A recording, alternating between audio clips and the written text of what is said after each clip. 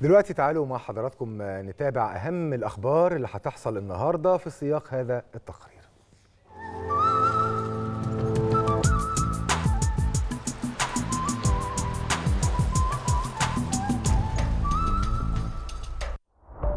بالنسبة للأخبار اللي هتحصل النهاردة فتنطلق القمة العربية اللي بتحمل الرقم 33 في المنامة عاصمة البحرين بحضور قادة وزعماء ورؤساء الدول العربية. وبتحمل أجندة القمة عدد كبير من الملفات الإقليمية والسياسية والاقتصادية والاجتماعية على رأسها القضية الفلسطينية وسبل مواجهة جرائم الاحتلال الإسرائيلي ضد المدنيين الفلسطينيين.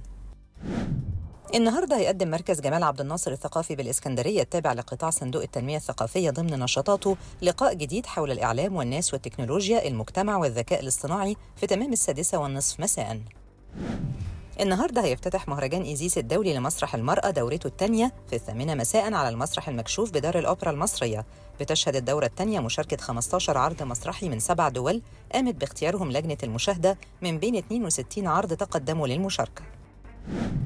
النهارده العشاء الدوري المصري موعدهم مع مباراتين مهمين في إطار الجولة 23 من عمر المسابقة. هيلتقي البنك الأهلي مع المصري في السابعة مساء في نفس التوقيت. هيلتقي إنبي مع فيوتشر.